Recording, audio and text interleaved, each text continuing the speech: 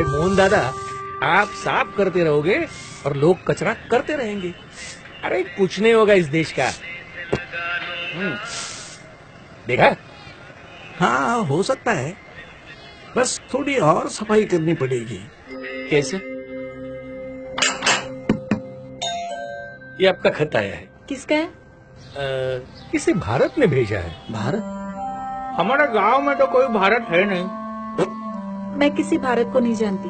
पढ़ लो शायद कोई पहचान वाला हो।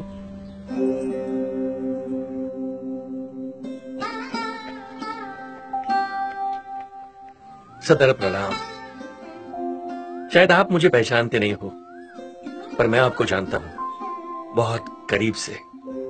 कई बार कई जगहों पर हम मिल भी चुके हैं। और हर मुलाकात एक याद बनती गई। याद है, जब वह मिश्रा की बीवी रसोई से कूड़ा फेंक रही थी, तब आप ही ने तो उसे डांटा था।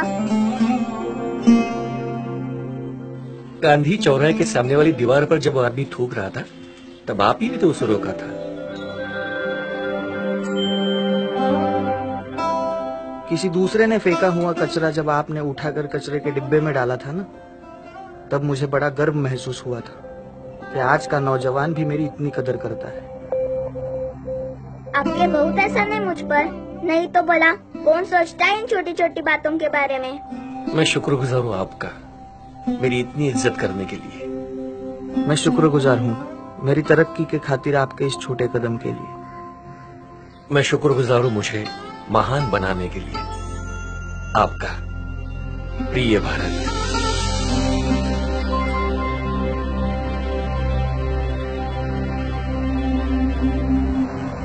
सच बात बताओ मोहन दादा। मतलब मुझे नहीं लगता कि इतनी आसानी से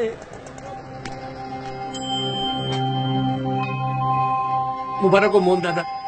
अरे अपना दिल साफ़ हो रहा है। हाँ पर और एक खत देना बाकी है। अब कौन?